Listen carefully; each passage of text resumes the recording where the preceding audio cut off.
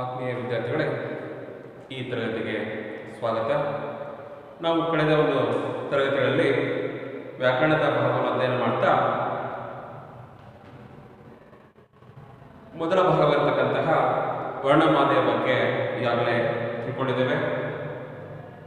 ಕನ್ನಡ ನಲವತ್ತೊಂಬತ್ತು ಅಕ್ಷರಗಳು. ಈ ನಲವತ್ತೊಂಬತ್ತು ಅಕ್ಷರಗಳನ್ನು ಮೂರು ವಿಧಗಳಾಗಿ, ಮತ್ತೆ ಪ್ರತಿಯೊಂದು ವಿಧಗಳನ್ನು ಸಹಿತ ಮತ್ತೆ ಎರಡು, ಮೂರು ವಿಧಗಳನ್ನಾಗಿ ವಿಂಗಡಣೆ ಮಾಡ್ತೇವೆ ತಿಳ್ಕೊಂಡಿದ್ದೇವೆ ನಂತರ ಮುಂದುವರೆದ ಭಾಗದಲ್ಲಿ ಈ ವರ್ಣಮಾಲೆಯನ್ನು ಬಳಸಿಕೊಂಡು ಮುಂದೆ ಮಾಡಬೇಕಾದಂತಹ ಕ್ರಮಗಳ ಬಗ್ಗೆ ಅಧ್ಯಯನ ಮಾಡ್ತಾ ಹೋಗೋಣ.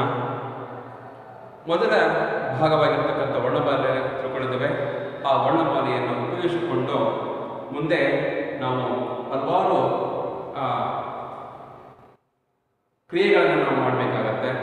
ಅಂತಹ ವರ್ಣಮಾಲೆ ಉಪಯೋಗಿಸಿಕೊಂಡು ಮುಂದೆ ಮಾಡಬಹುದಂತಹ ಒಂದು ಪ್ರಮುಖ ಕ್ರಮಗಳಲ್ಲಿ ಗುಣಿತಾಕ್ಷರಗಳು ಮತ್ತು ಸಂಯುಕ್ತಾಕ್ಷರಗಳು ಸಹಿತ ಒಂದು. ಹಾಗಾದ್ರೆ ಈ ತರಗತಿಯಲ್ಲಿ ನಾವು ಗುಣಿತಾಕ್ಷರಗಳು ಮತ್ತು ಸಂಯುಕ್ತಾಕ್ಷರಗಳುಗಳ ಬಗ್ಗೆ ಅಧ್ಯಯನವನ್ನು ಮಾಡೋಣ ಮೊದಲ ಭಾಗವಾಗಿ ಗುಣಿತಾಕ್ಷರ ಬಗ್ಗೆ ನಾವು ತಿಳ್ಕೊಳ್ತಾ ಹೋದ್ರೆ ಗುಣಿತಾಕ್ಷರಗಳು ಅಂದರೆ ಏನು? ನಿಮ್ಗೆ ಗೊತ್ತಿದೆ ಈಗಾಗಲೇ ಕ ಕ, ಕಿ ಕಿ ಅನ್ನುವ ಅಕ್ಷರಗಳೇ ನಮಗೆ ಗುಣತಾಕ್ಷರಗಳು ಅಂತ ನಿಮಗೆ ಆಗಲೇ ಗೊತ್ತಿದೆ. ಹಾಗಾದ್ರೆ ಆ ಅಕ್ಷರಗಳನ್ನು ನಾವು ಯಾಕೆ ಗುಣತಾಕ್ಷರ ಅಂತೇವೆ ಹಾಗಾದ್ರೆ ಆ ಅಕ್ಷರಗಳನ್ನು ಬರೆಯುವ ಕ್ರಮ ಹೇಗೆ ಅನ್ನೋದನ್ನ ಮೊದಲೇ ತಿಳ್ಕೊಳ್ಳೋಣ, ನಂತರದಲ್ಲಿ ಸಂಯುಕ್ತಾಕ್ಷರಗಳ ಬಗ್ಗೆ ನಾವು ತಿಳ್ಕೊಳ್ಳೋಣ. ವಿದ್ಯಾರ್ಥಿಗಳೇ, ಮೊದಲಿಗೆ ಗುಣತಾಕ್ಷರ ಅಂದ್ರೆ ಏನು? ಗುಣಿತಾಕ್ಷರಗಳು ಅಂದರೆ ಏನು? ನೀವು ಗಣಿತದಲ್ಲಿ ನೀವು ನೋಡಬಹುದು ಗುಣಿಸುವ ಲೆಕ್ಕಗಳು, ಗುಣಾಕಾರ ಲೆಕ್ಕಗಳು, ಒಂದು ಸಂಖ್ಯೆ, ಇನ್ನೊಂದು ಸಂಖ್ಯೆಯನ್ನು ಗುಣಿಸಿ ಬರ್ತಕ್ಕಂಥ ಉತ್ತರ ಲೆಕ್ಕಗಳು ಲಬ್ಧ ಆಗುತ್ತೆ. ಅಲ್ವಾ? ಎರಡು ಗುಣಿಸು ಎರಡು ನಾಲ್ಕಾಗುತ್ತೆ. ಹೀಗೆ ಎರಡು ಅಕ್ಷರಗಳು ಕೂಡಿಕೊಂಡು ಆಗ್ತಕ್ಕಂತಹ ಅಕ್ಷರಗಳಿಗೆ ಗುಣಿತಾಕ್ಷರಗಳು ಅಂತ ಕರಿತೇವೆ. ಹಾಗಾದ್ರೆ ಆ ಎರಡು ಅಕ್ಷರಗಳು ಯಾವುವು ಇಲ್ಲಿ ಎರಡು ಸಂಖ್ಯೆ ಗಣಿತದಲ್ಲಿ ಬಂದ್ರೆ ಎರಡು ಸಂಖ್ಯೆ ಕೊಡ್ತವೆ ಕನ್ನಡ ವ್ಯಾಕರಣಕ್ಕೆ ಬಂದ್ರೆ ಎರಡು ಅಕ್ಷರಗಳು ಸೇರಿ ಆಗುತ್ತೆ ಹಾಗಾದ್ರೆ ಈ ಕನ್ನಡ ವರ್ಣಮಾಲೆಯಲ್ಲಿ ಆ ಎರಡು ಗುಣಿತಾಕ್ಷರಗಳು ಆಗಬೇಕಾದ್ರೆ ಅಥವಾ ಒಂದು ಗುಣಿತಾಕ್ಷರ ಆಗಬೇಕಾದ್ರೆ ಸೇರಿಕೊಂಡಾಗುವ ಆ ಅಕ್ಷರಗಳು ಯಾವುವು ಅಂತ ತಿಳ್ಕೊಳ್ತಾ ಗುಣಿತಾಕ್ಷರ ಬಗ್ಗೆ ನಾವು ತಿಳ್ಕೊಳ್ತಾ ಹೋಗೋಣ ವಿದ್ಯಾರ್ಥಿಗಳೇ ಗಮನ ಹರಿಸಿ ಉಳಿತಾಕ್ಷರಗಳಂದ್ರೆ ಅಂದ್ರೆ ವ್ಯಂಜನಗಳಿಗೆ ಸ್ವರಗಳು ಮತ್ತು ಯೋಗವಾಹಗಳು ಸೇರಿಕೊಂಡು ಆಗ್ತಕ್ಕಂತಹ ಹೊಸ ಅಕ್ಷರಗಳಿಗೆ ನಾವು ಗುಣಿತಾಕ್ಷರಗಳು ಅಂತ ಕರಿತೇವೆ. ಅರ್ಥ ಆಯ್ತಾ ಮಕ್ಕಳೇ? ಯಾವ ಯಾವ ಅಂದ್ರೆ ವ್ಯಂಜನಾಕ್ಷರಗಳಿಗೆ ಗೊತ್ತಿದೆ ಈಗಾಗಲೇ ಮೂವತ್ನಾಲ್ಕು ವ್ಯಂಜನಾಕ್ಷರಗಳಿದಾವೆ. ಕದಿಂದ ಳವರೆಗೆ ಇರ್ತಕ್ಕಂಥ ಮೂವತ್ನಾಲ್ಕು. ವರ್ಗೆ ಇರ್ಬೋದು ಅಥವಾ ಅವರಿಗೆ ಇರ್ಬೋದು ನಮ್ಮಲ್ಲಿ ವರ್ ವ್ಯಂಜನ ಅಂತ ಹೇಳ್ತೀವಿ ವ್ಯಂಜನಗಳಿಗೆ ಸ್ವರಾಕ್ಷರಗಳು. ಸ್ವರಾಕ್ಷರ ಎಷ್ಟು?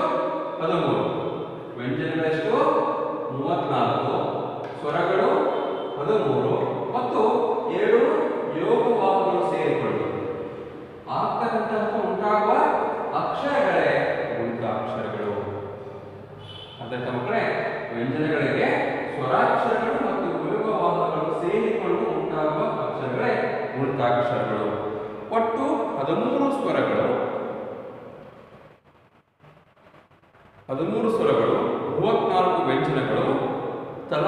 ವ್ಯಂಜನಕ್ಕೆ ಹದಿಮೂರು ಅಕ್ಷರಗಳು ಸೇರಿಕೊಂಡು ಹೀಗೆ ಗುಣಿತಾಕ್ಷರ ಆಗ್ತವೆ ಹದಿಮೂರು ಪ್ಲಸ್ ಎರಡು ಯೋಗವಾಹಗಳು ಹೀಗೆ ಒಟ್ಟು ಹದಿನೈದು ಅಕ್ಷರಗಳಿವೆ. ಅಂದ್ರೆ ಅವರಿಂದ ಅವರೆಗೆ ಹದಿಮೂರು ಸ್ವರಗಳು ಸೇರಿದಂತೆ ಒಟ್ಟು ಮೂವತ್ನಾಲ್ಕು ವ್ಯಂಜನಗಳಿಗೆ ಹದಿಮೂರು ಸ್ವರಾಕ್ಷರ ಸೇರಿಕೊಂಡು ಒಟ್ಟು ನಾನ್ನೂರ ನಲವತ್ತ ಎರಡು ಗುಣಿತಾಕ್ಷರಗಳಿಗೆ ಉಂಟಾಗ್ತವೆ. ಇದಕ್ಕೆ ನಾವು ಕಾಗುಣಿತಗಳು ಅಂತಲೂ ಸಹಿತ ಕರಿತೇವೆ. ಅದಾಯ್ತು ಮಕ್ಕಳೇ? ಈಗ ಒಟ್ಟು ಈ ಹದಿಮೂರು ಸ್ವರಗಳಲ್ಲಿ ಮೂವತ್ನಾಲ್ಕು ಬೆಂಗಳೂರು ಸೇರಿಕೊಂಡು ಒಟ್ಟು ನಾನ್ನೂರ ನಲವತ್ತೆರಡು ಗುಣಿತಾಕ್ಷರಗಳು ಅಥವಾ ಕಾಗುಣಿತಗಳು ಆಗ್ತವೆ. ನೋಡೋಣ ನೀವು ಬಂದ ಉದಾಹರಣೆಗೆ ಕ, ಅದಿ ಕ ಅನ್ನೋದು ವ್ಯಂಜನ, ಅ ಅನ್ನೋದು ಸ್ವರ. ಇಲ್ಲಿ ಇದು ಗುಣಿತಾಕ್ಷರ ಅಥವಾ ಕಾಗುಣಿತಾಕ್ಷರ ಗ ಹಾಗೆ ಗ ಗ ಅನ್ನುವ ಅಕ್ಷರ ವ್ಯಂಜನಕ್ಕೆ ಎ ಅನ್ನುವ ಸ್ವರಾಕ್ಷರ ಸೇರಿದೆ. ಗೆ. ಹಾಗೆ ತ ಅನ್ನುವ ಒಂದು ವ್ಯಂಜನಕ್ಕೆ ಅಮ್ ಎನ್ನುವ ಒಂದು ಯೋಗವ ಸೇರಿ ತಮ್ ಅಕ್ಷರ ಉಂಟಾಗಿದೆ ಅಂತ ಮಕ್ಕಳೇ ವ್ಯಂಜನಕ್ಕೆ ಸ್ವರ ಸೇರಿ ಉಂಟಾಗುವ ಒಂದು ಅಕ್ಷರಕ್ಕೆ ನಾವು ಉಳಿತಾಕ್ಷರ ಅಂತ ಕರಿತೇವೆ ವ್ಯಂಜನಗಳಿಗೆ ಸ್ವರಗಳು ಸೇರಿಕೊಂಡ್ರೆ ಮಾತ್ರ ನಾವು ಮುಂದೆ ಏನಾದರೂ ಬರೆಯಬಹುದು ಮೂಲತಃ ವ್ಯಂಜನಗಳನ್ನು ನಾವು ಬಳಸಿಕೊಂಡು ಈ ಆ, ವ್ಯಂಜನಾಕ್ಷರಗಳು ಸೇರಿ ಬರೆದರೆ ಅದು ಪದಗಳ ರಚನೆ ಆಗೋದಿಲ್ಲ ಹಾಗಾಗಿ ಒಂದು ಅರ್ಥಬದ್ಧವಾಗಿರ್ತಕ್ಕಂತಹ ಅರ್ಥ ಗರ್ಭಿತವಿರ್ತಕ್ಕಂತಹ ಒಂದು ಪದ ರಚನೆ ಆಗಬೇಕಾದ್ರೆ ಅಲ್ಲಿ ವ್ಯಂಜನಗಳಿಗೆ ಸ್ವರಗಳು ಸೇರಿಕೊಂಡು ಅದು ಆಗಿದ್ರೆ ಮಾತ್ರ ಅದು ಆ ಪದ ರಚನೆಗೆ ಅರ್ಥ ಬರುತ್ತೆ ಹೊರತು ನಾವು ಮೂಲತಃ ಇರ್ತಕ್ಕಂತಹ ವ್ಯಂಜನಗಳಲ್ಲಿ ನಾವು ಕರಿತಾ ಹೋದ್ರೆ ಅಲ್ಲಿ ಆ ಪದಗಳ ರಚನೆ ಆಗಲ್ಲ. ಅದರ ಬದಲಾಗಿ ನಾವೇನ್ ಮಾಡ್ತೇವೆ ಅಂದ್ರೆ ಈ ಅಕ್ಷರಗಳು ಸ್ವರಗಳನ್ನು ಸೇರಿಕೊಂಡು ಹೊಸ ರೂಪದ ಅಕ್ಷರ ಮಾಡ್ಕೊಂಡು ಮಾಡ್ತೇವೆ. ಪದಗಳನ್ನು ರಚನೆ ಮಾಡ್ತಾ ವಿದ್ಯಾರ್ಥಿಗಳೇ. ಹಾಗಾದ್ರೆ ಈ ಕಾಗುಣಿತವನ್ನ ಬರೆಯುವುದು ಹೇಗೆ ಅನ್ನೋದನ್ನು ನಾನು ಒಂದು ಉದಾಹರಣೆ ಮೂಲಕ ನಿಮಗೆ ಇಲ್ಲಿ ತಿಳಿಸ್ಕೊಡ್ತೇನೆ ಅರ್ಥ ಆಯ್ತಾ ಮಕ್ಕಳೇ ವ್ಯಂಜನಗಳಿಗೆ ಸ್ವರಾಕ್ಷರಗಳು ಸೇರಿಕೊಂಡು ಆಗ್ತಕ್ಕಂತಹ ಅಕ್ಷರಗಳಿಗೆ ನಾವು ಗುಣಿತಾಕ್ಷರಗಳು ಅಥವಾ ಕಾಗುಣಿತಗಳು ಅಂತಲೂ ಸಹಿತ ಕರೀತೇವೆ ಒಂದು ಅಕ್ಷರದ ನಾವು ಇಲ್ಲಿ ಬರೀತೇನೆ ಅದು ಹೇಗೆ ಬರೆಯುವುದು ಅಂತ ನೋಡೋಣ ಗುಣಿತಾಕ್ಷರ ಬರೆಯುವ ಕ್ರಮ ಕ ಅದಿ ಅ ಕ ಖ ಅದಿ ಆ ಕ ಕ ಅದಿ ಈ ಈ ಕ ಅದಿ ಈ ಈ ಕ ಅದಿ ಉ ಕು ಕ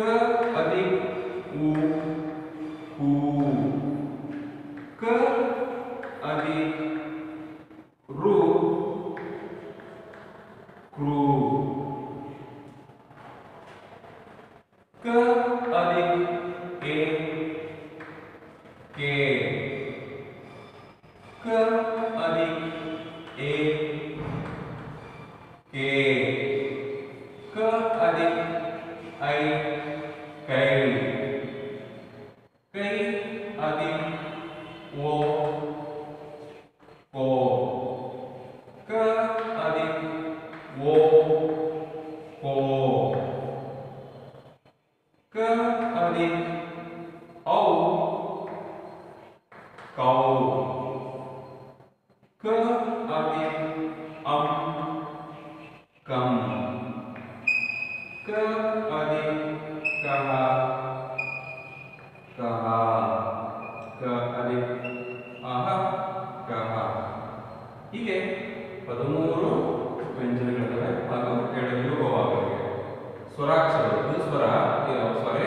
ವ್ಯಂಜನ, ಸ್ವರ ಇದೇನದ್ದು ಗುಣಿತಾಕ್ಷರ.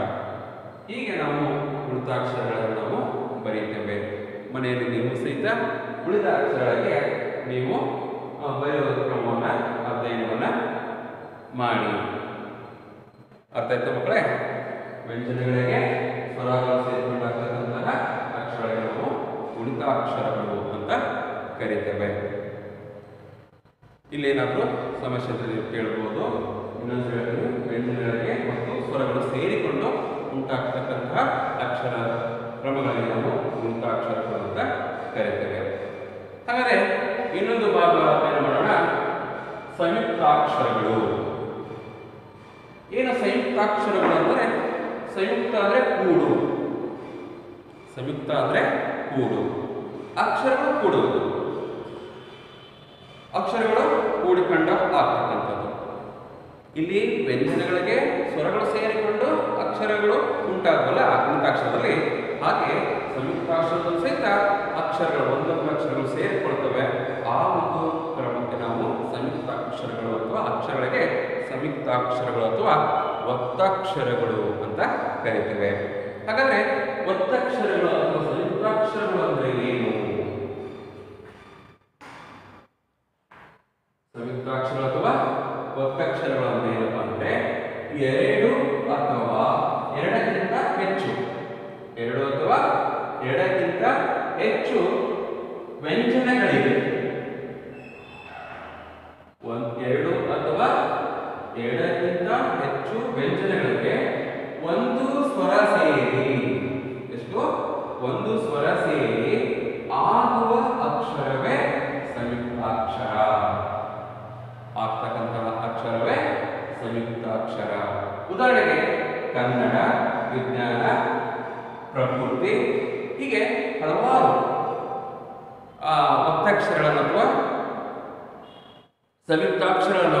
ಉದಾಹರಣೆಯಾಗಿ ನೀಡಬಹುದು.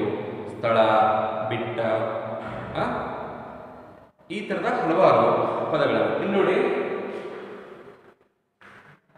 ನ, ಕನ್ನಡ ಎನ್ನುವ ಅಕ್ಷರದಲ್ಲಿ ನ. ನ ಅಲ್ಲಿ ಮೊದಲಿಗೆ ಒಂದು ಅಕ್ಷರ ಇದೆ. ಕಾಣ್ತಾ ಇದೆ ಅದಕ್ಕೆ ಇನ್ನೊಂದು ಅಕ್ಷರ ನಾವು ಬರುತ್ತೇವೆ ತಾಳ್ಗೆ ಬರುತ್ತೇವೆ ಅಂದ್ರೆ ಒಂದು, ಇದು ವ್ಯಂಜನಾಕ್ಷರ, ಇದು ವ್ಯಂಜನಾಕ್ಷರದ ಒತ್ತಕ್ಷರ ಈ ಒಂದು ವ್ಯಂಜನಕ್ಕೆ ಇನ್ನೊಂದು ವ್ಯಂಜನ ಅಥವಾ ಇನ್ನು ಹಲವಾರು ಮತ್ತೊಂದು ಸೇರು ಸೇರಬಹುದು. ಒಟ್ಟಿಗೆ ಎರಡು ವ್ಯಂಜನಗಳು ಸಹಿತ, ಮೂರು ವ್ಯಂಜನಗಳು ಸಹಿತಲೇ ಬರಬಹುದು. ಇಂತಹ ಅಕ್ಷರಗಳಿಗೆ ನಾವು ಸಂಯುಕ್ತಾಕ್ಷರಗಳು ಅಂತ ಕರೀತೇವೆ. ಅರ್ಥ ಆಯ್ತಾ? ಎರಡು ಅಥವಾ ಎರಡಕ್ಕಿಂತ ಹೆಚ್ಚು ವ್ಯಂಜನಗಳಿಗೆ ಒಂದು ಸ್ವರ, ಇಲ್ಲಿ ನ ಅನ್ನೋದಲ್ಲಿ ನ ನ ಅನ್ನುವ ಅಕ್ಷರ ಉಂಟಾಗಿದೆ. ನ ಅನ್ನು ವ್ಯಂಜನ, ನ ಅನ್ನು ವ್ಯಂಜನ. ಇಲ್ಲಿ ಅ ಎನ್ನುವ ಸ್ವರ ಸೇರಿ ನ ಆಗಿದೆ. ಕನ್ನಡ ಅನ್ನೋದಾಗಿದೆ ಹಾಗೆ ವಿಜ್ಞಾನ ಇಲ್ಲಿ ಜ್ಞಾನಕ್ಕೆ ಜ್ಞ ಅದಿ ಆ ಜ್ಞಾ ಜ್ಞಾನ ಇಲ್ಲಿ ಪ್ರ ಪ ಅದಿ ರ ಅದಿ ಅ ಪ್ರ ಇದು ಪ ವ್ಯಂಜನ, ರ ವ್ಯಂಜನ ಅ ಸ್ವರ. ಈ ಎರಡು ವ್ಯಂಜನಗಳಿಗೆ ಒಂದು ಸ್ವರ ಸೇರಿ ಇಲ್ಲಿ ಪ್ರ ಆಗಿದೆ ಅರ್ಥ ಆಯ್ತಾ ಮಕ್ಕಳೇ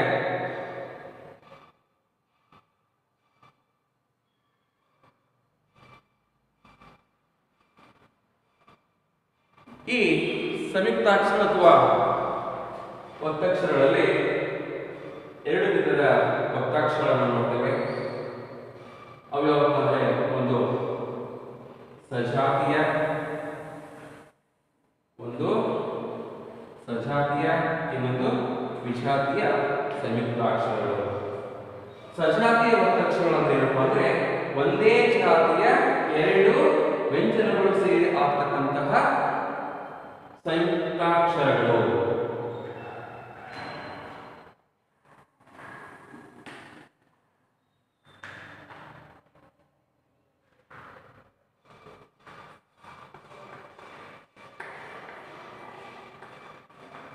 ಒಂದೇ ಜಾತಿಯ ಎರಡು ವ್ಯಂಜನಗಳು ಒಟ್ಟಿಗೆ ಸೇರಿ ಆಗ್ತಕ್ಕಂತಹ ಸಂಯುಕ್ತಾಕ್ಷರಗಳು ಸಜಾತಿಯ ಒತ್ತಕ್ಷರಗಳು ಅಥವಾ ಸಂಯುಕ್ತಾಕ್ಷರಗಳು ಅಂತ ಕರೀತೇವೆ ಏನಿವು ಒಂದೇ ಜಾತಿಯ ಅಂತಂದ್ರೆ ಒಂದೇ ಅಕ್ಷರ. ಉದಾಹರಣೆಗೆ, ಇಲ್ಲಿ ಅಪ್ಪ ಅನ್ನೋ ಒಂದು ಪದ ಇದೆ ಇದು ಒತ್ತಕ್ಷರ ಪದ ಯಾಕಂದ್ರೆ ಒಂದು ವ್ಯಂಜನಕ್ಕೆ ಇನ್ನೊಂದು ಅಕ್ಷರ ವ್ಯಂಜನ ಇಲ್ಲಿ ಬಂದಿದೆ ಒಂದು ಎರಡು ವ್ಯಂಜನಗಳು ಮತ್ತು ಸ್ವರಗಳು ಸೇರಿ ಇದು ಪ- ಅಕ್ಷರ ಆಗಿ ಅದೊಂದು ಪದ ಆಗಿದೆ ಇಲ್ಲಿ ಪ ಅಕ್ಷರದಲ್ಲಿ ಪ ಇದೆ ಪ ಇದೆ ಮತ್ತೆ ಅ ಇದೆ ಈ ಮೂರು ಅಕ್ಷರಗಳು ಸೇರಿ ಪ ಆಗಿದೆ ಅಲ್ವಾ ಅಪ್ಪ ಅಮ್ಮ ಇಲ್ಲಿ ಮ ಅನ್ನೋ ಅಕ್ಷರಕ್ಕೆ ಮ ಮ ಅ ಅಕ್ಷರ ಸೇರಿಕೊಂಡು ಇಲ್ಲಿ ಮ ಅಮ್ಮ ಪದ ಆಗಿದೆ ಇಲ್ಲಿ ಎರಡು ವ್ಯಂಜನಗಳು ಒಂದೇ ಜಾತಿ ಅಂದ್ರೆ ಒಂದೇ ಅದೇ ಆ, ವ್ಯಂಜನ ಅದೇ ವ್ಯಂಜನಕ್ಕೆ ಒತ್ತಕ್ಷರ ಬರ್ತದೆ ಮಗೆ ಮ ರ ಗೆ ರ ಲ ಗೆ ಲ ಆ ಸ ಗೆ ಸ, ಕ ಗೆ ಕ ಅಕ್ಷರ. ಅಂದ್ರೆ ಅದೇ ಅಕ್ಷರಕ್ಕೆ, ಅದೇ ವ್ಯಂಜನಾಕ್ಷರಕ್ಕೆ ಅದೇ ವ್ಯಂಜನಾಕ್ಷರಕ್ಕೆ ಒತ್ತಕ್ಷರ ಆಗಿರೋದ್ರಿಂದ ನಾವು ಸಜಾತಿ ಅಕ್ಷರಗಳು ಅಂತ ಕರಿತೇವೆ. ಉದಾಹರಣೆ ಮತ್ತೆ ಹೇಳಿದ್ರೆ ಒಟ್ಟಿಗೆ ಇಲ್ಲಿ ಟ ಟ ಇ ಟ ಎನ್ನುವ ವ್ಯಂಜನಾಕ್ಷರಕ್ಕೆ ಅದೇ ಅಕ್ಷರ ಟ ಅಕ್ಷರವೇ ಒತ್ತಕ್ಷರ ಆಗಿದೆ ಇಲ್ಲಿ ಇ ಎನ್ನುವ ಸ್ವರಾಕ್ಷರ ಬಳಕೆಯಾಗಿದೆ ಇಲ್ಲಿ ಟಿ ಗೆ ಪದ ಅಕ್ಷರ ರಚನೆ ಆಗಿರತಕ್ಕಂಥದ್ದು ಸೊ ಒಂದೇ ಜಾತಿಯ ಎರಡು ವ್ಯಂಜನಗಳು ಒಟ್ಟಿಗೆ ಸೇರಿ ಆಗ್ತಕ್ಕಂತಹ ಅಕ್ಷರಗಳು ಅಥವಾ ಸಂಯುಕ್ತ ಅಕ್ಷರಗಳಿಗೆ ನಾವು ಸಜಾತಿಯ ಒತ್- ಅಕ್ಷರಗಳು ಅಂತ ಕರಿತೇವೆ. ಸಜಾತಿಯ ಸಂಯುಕ್ತಾಕ್ಷರಗಳು ಅಂತ ಕರಿತೇವೆ. ಅದೇ ರೀತಿ ಎರಡನೇಯಿಂದ ವಿಜಾತಿಯ ಸಂಯುಕ್ತಾಕ್ಷರಗಳು.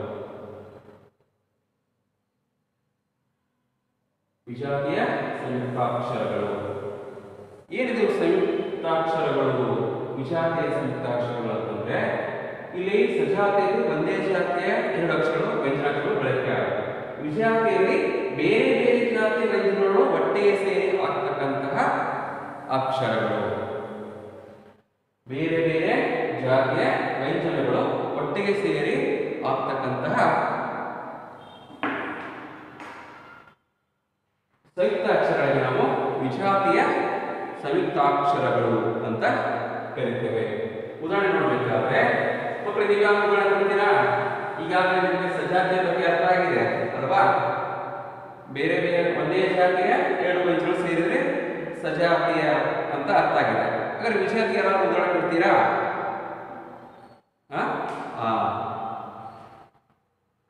ಏನು? ಹೇಳಿ ಮಕ್ಕಳು ಯಾರಾದ್ರೂ ಉದಾಹರಣೆನ? ಹ್ಮ್? ಗೊತ್ತಾಗ್ತಾ ಇಲ್ವಾ? ನೋಡೋಣ ಅಂತಂದ್ರೆ ಸರಿ. ಇಲ್ಲೇ ಇದೆ, ನಾನು ಹೇಳಿದೆ, ಸ್ವರ. ಅಲ್ವಾ? ಸ್ವರಗಳು, ವ್ಯಂಜನ. ಸ್ವರಗಳು ನೋಡಿ. ಸ ಅಕ್ಷರ ಇದೆ. ವ ಅಕ್ಷರ ಇದೆ. ಮತ್ತೆ ಅ, ಅಕ್ಷರ ಇದೆ. ಸ ವ್ಯಂಜನಾಕ್ಷರ ವ ವ್ಯಂಜನಾಕ್ಷರ ಆದ್ರೆ ಈ ಸ ಒಂದು ಜಾತಿದು, ಇದೊಂದು ಬೇರೆ ಜಾತಿ. ಅಂದ್ರೆ ಎರಡು ಒಂದೇ ಅಲ್ಲ. ಬೇರೆ ಬೇರೆ ಜಾತಿಯ ಅಕ್ಷರಗಳು ಸೇರಿಕೊಂಡು ಆಗ್ತಕ್ಕಂತಹ ಒಂದು ಸಂಯುಕ್ತಾಕ್ಷರಗಳಿಗೆ ನಾವು ವಿಜಾತಿಯ ಸಂಯುಕ್ತಾಕ್ಷರಗಳು ಅಂತ ಕರೀತೇವೆ ಅಲ್ವಾ? ಹಾಗೆ ಮುಖ್ಯ. ಇಲ್ಲಿ ಕ ಯ.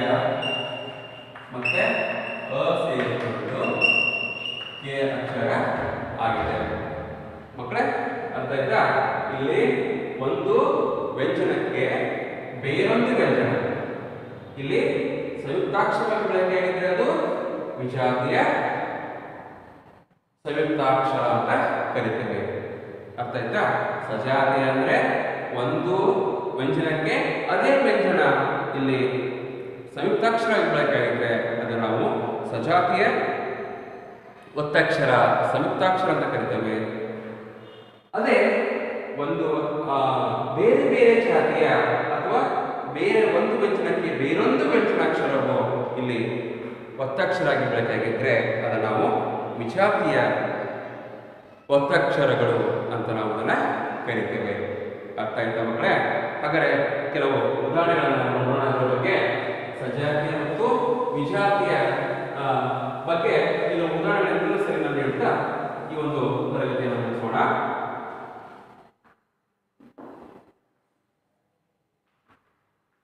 ಇಲ್ಲಿ ನಾನು ಹೇಳಿದೆ ಎರಡು ಅಥವಾ ಎರಡಕ್ಕಿಂತ ಹೆಚ್ಚು ವ್ಯಂಜನಗಳಿವೆ ಇಲ್ಲೊಂದು ಪದ ಬರೀತೇವೆ ನೋಡಿ ಮಕ್ಕಳೇ ಅಸ್ತ್ರ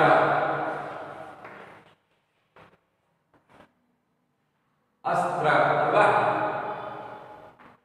ಇದು ಮೊದಲಿಗೆ ಒಂದು ಸಂಯುಕ್ತಾಕ್ಷರ ನಾವು ವಿತರಣೆ ಬಂದ್ರೆ ವಿಷಾದಿಯ ಒತ್ತಕ್ಷರ ಹೇಗೆ ಇದು. ನೋಡಿ, ಸ ಅನ್ನೋದು ಒಂದು ವ್ಯಂಜನ ಇದೆ.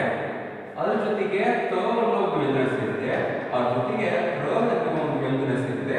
ಅದ್ರ ಜೊತೆಗೆ ಅ ಎನ್ನುವ ಒಂದು ಸ್ವರ ಸೇರಿ ಸ್ತ್ರ ಆಗಿದೆ. ಅಲ್ವಾ? ಹೌದಲ್ಲ ಮಕ್ಕಳೇ ಹ್ಮ್ ಹಾ, ಅದಕ್ಕೆ ಹೇಳಿದಂತೆ ಅಂದ್ರೆ ಎರಡು ಎರಡು ಎರಡು ಇರ್ಬೋದು ಅಥವಾ ಎರಡಕ್ಕಿಂತ ಹೆಚ್ಚು ಹಾಗಾದ್ರೆ ಹೇಳಿದೆ ಆ, ಒಟ್ಟು ಇಲ್ಲಿ ಟಗೆ ಟ ಟ ಮತ್ತೆ ಉ ಇದು ಟೂ ಆಗಿದೆ ಇಲ್ಲಿ ಎರಡು ಒಂದು ವ್ಯಂಜನಕ್ಕೆ ಎರಡು ವ್ಯಂಜನ ಬಳಕೆ ಆಗುವ. ಇಲ್ಲಿ ಒಂದು ವ್ಯಂಜನಕ್ಕೆ ಒಂದು ವ್ಯಂಜನ ಬಳಕೆ ಆಗುತ್ತೆ ಎರಡು ಅಥವಾ ಎರಡಕ್ಕಿಂತ ಹೆಚ್ಚು ವ್ಯಂಜನಗಳಿಗೆ ವ್ಯಂಜನಗಳಿಗೆ ಒಂದು ಸ್ವರ ಸೇರಿ. ಸ್ವರ ಮಾತ್ರ ಒಂದೇ. ಸೇರಿ ಉಂಟಾಗ್ತಕ್ಕಂಥ ಅಕ್ಷರ ನಾವು ಸಂಯುಕ್ತಾಕ್ಷರಗಳು ಅಂತ ಕರಿತೇವೆ. ಅರ್ಥ ಆಯ್ತಲ್ಲ ಮಕ್ಕಳೇ? ಇದರ ಉಳಿದ ಭಾಗವನ್ನು ನಾವು ಮುಂದಿನ ತರಗತಿಯಲ್ಲಿ ತಿಳ್ಕೊಳ್ಳೋಣ. ಈಗ ನೀವು ಈ ತರಗತಿಯಲ್ಲಿ ಗುಣಿತಾಕ್ಷರಗಳಂದ್ರೆ ಏನು ಮತ್ತೆ ಸಂಯುಕ್ತಾಕ್ಷರಗಳು ಅಂದರೆ ಏನು ಅನ್ನೋದನ್ನು ತಿಳ್ಕೊಂಡಿದ್ದೀರಾ? ನಾನು ಕೆಲವು ಉದಾಹರಣೆಗಳನ್ನು ಹೇಳ್ತೀನಿ ಪದಗಳನ್ನು. ಆ ಪದಗಳನ್ನು ನೀವು, ಆ ಒತ್ತಕ್ಷರಗಳನ್ನು ಈ ರೀತಿ ಇಲ್ಲೊಂದು ಪದ ನಾವು ಸರಿಯಾಗಿ ಬಿಡಿಸ್ತೇನೆ ಸಂಪೂರ್ಣವಾಗಿ ಆಮೇಲೆ ನೀವು ಅದನ್ನ ಅದೇ ರೀತಿ ಬಿಡಿಸಿ.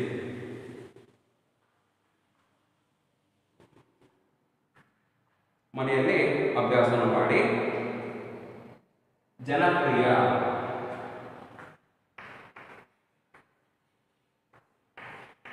ಜನಪ್ರಿಯ ಒಂದು ಪದ ಇದೆ. ಇಲ್ಲಿ ಪ್ರೀ ಅನ್ನೋದು ಇಲ್ಲಿ ಒತ್ತಕ್ಷರ ಆಗಿದೆ ಅಲ್ವಾ ಇದನ್ನ ನಾವು ಗುಣತಾಕ್ಷರ ಕ್ರಮದಲ್ಲಿ ಹೇಗೆ ನಾವು ಕಲಿತೀವಪ್ಪ ಅಂದ್ರೆ, ಜ, ಅ, ನ ಪ, ರ, ಇ, ಯ, ಅ. ಈ ಅಕ್ಷರ ಸೇರಿದಾಗ ಜ ಆಯ್ತು ನ ಮತ್ತು ಅ ಸೇರಿದಾಗ ನ ಆಯಿತು ಪ ಮತ್ತು ರ ಸೇರಿದಾಗ ಪ ಆಯಿತು. ಸಾರಿ ಪ ರ ಇ ಮೂರು ಅಕ್ಷರದಾಗ ಪ್ರಿ ಆಯ್ತು. ಈ ಸೇರಿ ಯ ಮತ್ತು ಪ ಸೇರಿದಾಗ ಯ. ಈ ರೀತಿ ನಾವು ಒತ್ತಕ್ಷರಗಳನ್ನ ಉಳಿತಾಕ್ಷರ ಕ್ರಮದಲ್ಲಿ ನಾವು ಬರೆದು ಬರೀತೇವೆ ಬಿಡಿಸಿ ಬರೀತೇವೆ ಇದರ ಮುಂದಿನ ಭಾಗ ನಾವು ತಿಳ್ಕೊಳ್ಳೋಣ. ಆ, ಮುಂದಿನ ತರಗತಿಯಲ್ಲಿ ನಾವು ತಿಳ್ಕೊಳ್ಳೋಣ.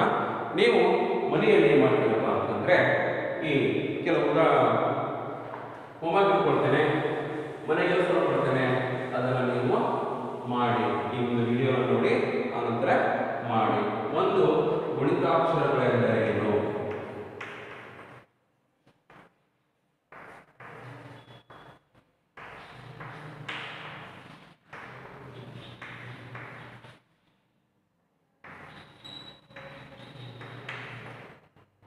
ಏನು ಎರಡು ಚ ಅಕ್ಷರವನ್ನು ಗುಣಿತಾಕ್ಷರ ಕ್ರಮದಲ್ಲಿ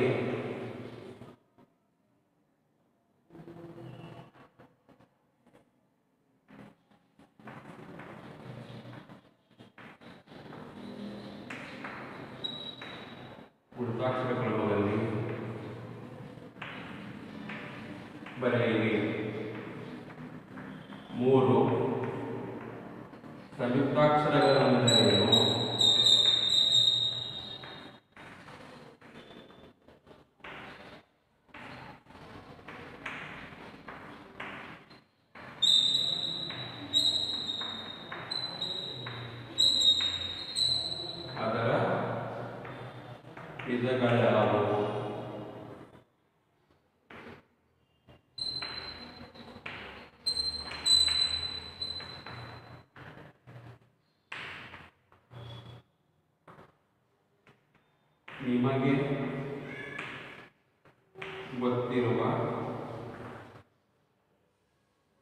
ಹತ್ತು